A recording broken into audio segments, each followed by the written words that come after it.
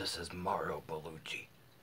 He was a soccer player that lived between 1950 and 2021. Unfortunately, he died of COVID 19